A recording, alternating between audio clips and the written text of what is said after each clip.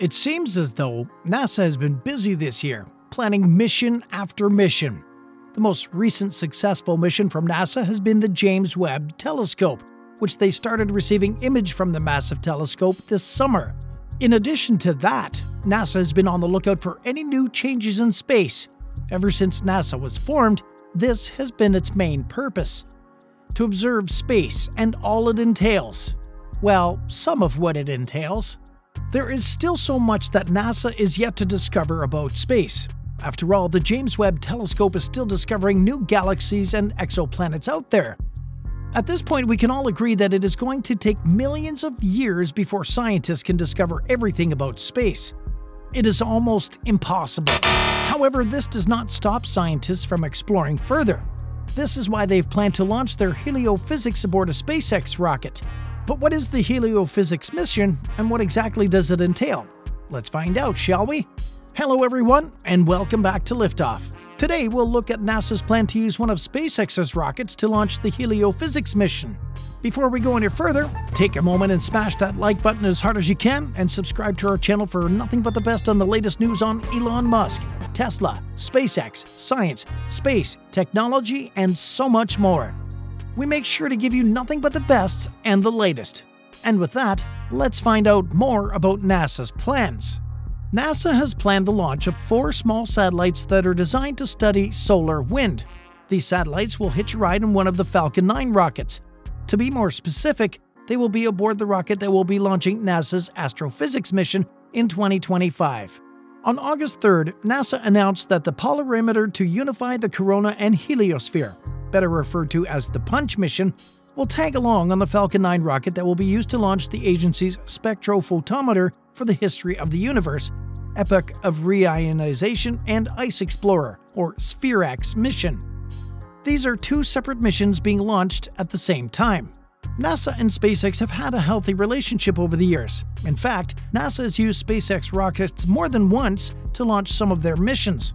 This includes launching cargo to the International Space Station launching a crew to the same destination, and even launching some of its satellites. Because of this, SpaceX has gained quite a reputation as well as recognition as the best private space company in the industry. This is exactly why NASA did not hesitate even a single bit to award SpaceX with the contract to launch the SPHEREX mission. This contract was given to SpaceX in February of 2021, the contract initially launching the SPHEREX alone was said to be worth about $98.8 million.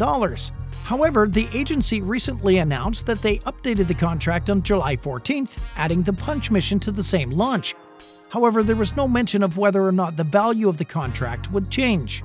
In a statement about the rideshare announcement, Craig DeForest, the principal investigator for Punch at the Southwest Research Institute, said, It is great to have a definite launch date and vehicle and we're looking forward to working with the SPHEREX team as we carpool to orbit. When NASA announced the contract with SpaceX to launch SPHEREX, they said a launch was scheduled for no earlier than April 2025. And now, even with the recent addition of the Punch mission, the launch period remains the same. Before this new update, Punch was planned to be launched on October 2023, but there was an 18 month slip that provided new schedule flexibility to mitigate some schedule constraints due to supply chain challenges. This was according to NASA. So now that we have established that NASA is planning on launching the Punch mission along with the SPHEREX mission, what exactly are those missions all about? Well, the Punch mission is a mission that entails four satellites, each weighing about 40 kilograms. The satellites will go into a sun synchronous orbit along the Terminator. While there, they will constantly provide observations of the sun, the spacecraft carries instruments to study how the solar corona transitions into the solar wind. Basically, this is a small explorer mission by NASA that will be making global 3D observation of the young solar wind. It will do this from the outermost solar atmosphere to the inner heliosphere. Some of the image that will be of unprecedented quality will help scientists close a gap in measurement and understanding of what occurs in this region of space. This is a gap that has been present for about 60 years now. It's been there for more or less since the birth of space exploration, when scientists became even more curious about space and how it functions. On the other hand, SPHEREX is a small spacecraft that has a total weight of about 200 kilograms. The spacecraft carries a wide field telescope that is designed to carry out an all sky survey every six months. This observation will mainly collect the spectra of hundreds of millions of stars and galaxies and send them back to scientists here on the ground who will further study them. Given that the SphereX is just a small spacecraft, there were suggestions during the awarding of the contract to SpaceX by NASA that the agency might add more spacecraft to the launch. In the past few years, the agency has tried to use the extra space on the launches it buys for science missions to send more spacecraft into space.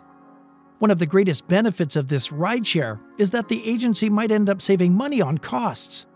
Even though the Falcon 9 rocket is a cheaper option compared to other companies such as Boeing and Blue Origin, it still costs a few million dollars.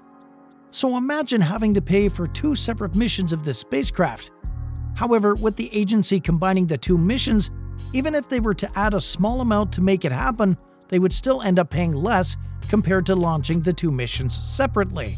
However, as much as it is beneficial, there are still some downsides to this. The main one is that it might bring about scheduling problems. A similar case of this is when NASA was planning on flying a small lunar orbiter mission known as Lunar Trailblazer as a tag along on the Interstellar Mapping and Acceleration Probe or IMAP mission. While the Lunar Trailblazer was ready to be launched as early as 2022, IMAP was still not ready for launch with an expected date of early 2025. Because of this great difference, NASA announced in June that it would be taking the Lunar Trailblazer mission off the IMAP launch. The agency opted to launch it as a secondary payload on a commercial lunar mission. The IM 2 lunar lander by Intuitive Machines, the IM-2 mission is expected to launch in 2023. The SphereX mission is actually a pretty interesting mission.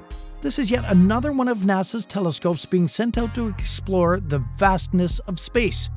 The space based telescope will explore the universe in both the visible and infrared light. These wavelengths of light are invisible to the human eye, but they hold a very valuable information in the quest to understand the cosmos. The SphereX mission will study more than 100 million stars in the Milky Way, as well as more than 300 million galaxies beyond our own. The observatory, which will be orbiting the Earth, will map the entire sky in 96 different color bands. This will create an unprecedented view of the universe that is around us. Thomas Zurbuchen, the Associate Administrator for NASA's Science Mission Directorate, commented about this mission, saying, This amazing mission will be a treasure trove of unique data for astronomers. It will deliver unprecedented galactic map containing fingerprints from the first moments of the universe's history, and will have new clues to one of the greatest mysteries in science what made the universe expand so quickly less than a nanosecond after the Big Bang.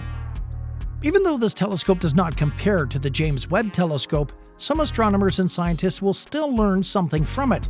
The James Webb Telescope is a more powerful version of the SphereX mission. Since summer began, the James Webb Telescope has proved itself to be the most powerful telescope in space. It has sent some of the most stunning images of space ever seen. Not even the Hubble Space Telescope, which was the former most powerful telescope, sent images as ones the James Webb Telescope is sending. But even with this, NASA is still sending the SphereX telescope into space to explore the universe. But who knows, it might actually reveal something that the other telescopes missed. Feel free to let us know what you think about the heliophysics mission being conducted by NASA. Also, before you leave, make sure you smash that like button as hard as you can and subscribe to our channel for nothing but the best and the latest news on Elon Musk, Tesla, SpaceX, science, space, technology, and so much more. Thanks for watching, and I'll see you in the next one.